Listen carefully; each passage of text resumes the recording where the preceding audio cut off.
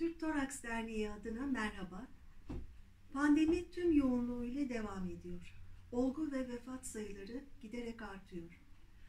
Bu hafta içinde yine kayıplarımız oldu. Uzman doktor Hüseyin Süyür bir göğüs hastalıkları uzmanı. Pandeminin başından beri kurtardığı yüzlerce hastadan biri olamadı. Yaşama tutunamadı. Acımız tarifsiz. Önlenebilir bir hastalıktan yaşamını yitirdi. Kontrolden çıkan salgının kurbanı oldu. Böyle giderse bu son kaybımız da olmayacak.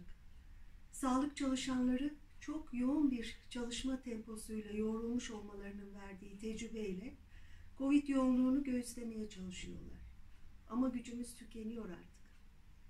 Bugün itibariyle 180 sağlık çalışanını yitirdik. Birçoğu da hala hastanelerde, yoğun bakımlarda yaşamın sınırındalar. Yetkililere seslenmek istiyoruz. Bu gidişe dur demek için daha ne bekliyorsunuz? Kamunun acil önlem alması gerekiyor. 14 gün, tercih anda 28 gün kapanma öneriyoruz. Bu giderek artan hasta ve vefat sayılarını ancak bu şekilde durdurabiliriz. Bu arada tüm aşılar gibi COVID-19 aşılarının da binlerce insanı içine alan faz 3 çalışmaları bittikten sonra uygulanmaya başlanması planlanmakta. Çin'de üretilen aşının faz 3 çalışmaları halen sürmekte olup Türkiye'de bu çalışmalara katıldı. İki Türk bilim insanı Doktor Özlem Türeci ve Profesör Doktor Uğur Şahin'in kurucusu olduğu BioNTech ile Pfizer işbirliğinde geliştirilen korona aşısı da tüm dünyanın gündemine oturmuştur. Aşılar hepimiz için umut olmuştur. Aşıların ruhsat alması sonrası aşıya erişimde sorun olmamalıdır. Bunu özellikle vurgulamak istiyorum. Bu aşıların öncelikli olarak hangi kişilerde uygulanacağı, aşıların ücretli mi, ücretsiz mi olacağı ve nasıl bir lojistik planlama ile Türkiye'ye dağıtılacağı konusu çok önemlidir. Aşının geldiğinde hızla uygulanabilmesi için lojistik destek planlamalarının şimdiden yapılması gereklidir.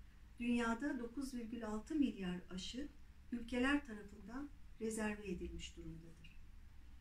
Aşı bir sağlık hakkıdır. Tercih edilen aşı sağlık çalışanları, toplu taşıma yapan vasıtaların çalışanları, yüksek risk grubundaki kişiler öncelikli olmak üzere herkese ücretsiz olarak yapılmalıdır. Dünya Sağlık Örgütü'ne göre aşı öncelikli gruplar bir sağlık çalışanlarıdır, tarımsal üretimde yer alanlardır, sosyal hizmet çalışanları ve güvenlik mensuplarıdır. İkinci olarak ölüm riski yüksek kişiler ve 65 yaş üstü kişilerdir. Üçüncüsü de diğer gruplardır. Özellikle risk grubundakiler başta olmak üzere tüm aşı uygulamaları ücretsiz yapılmalı. Eczanelerde ücretli olarak aşı satılmasına izin verilmemelidir. Covid-19'a karşı aşı ile toplum bağışıklığının oluşabilmesi için nüfusun en az %67'sinin aşılanması gerekir. Yani Türkiye'de yaklaşık 40-50 milyon kişinin aşı olması gerekir. Ayrıca doğru bilimsel verilere ihtiyaç vardır. Hastalığı geçirmiş olan kişilerde 2 ay sonra antikor kayboluyorsa aşı yapıldığında bu süre ne kadar olacaktır? Aşıların öncelikli hedefi hastalığı ve ağır hastalığı önlemektir ve bulaşmayı ne kadar engelleyeceği bilinmemektedir. Şimdilik beklenen iki aşının salt hastalığın ağır geçirilmesini önlemeye dönük olduğu, toplumsal yayılma üzerinde beklenen düzeyde etkili olmadığı akılda tutulmalıdır. Ancak herkes aşılanırsa pandemi kontrol altına alınabilir.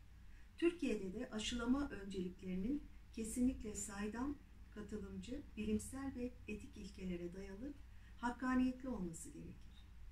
Aşı ile bu işin kontrol edilebilmesi için gereken süre bir buçuk iki senedir. Ancak bu sürede yeterli aşı üretilebilir ve dağıtılabilir. Aşı olmamız demek, önlemlerden vazgeçmemiz demek değildir.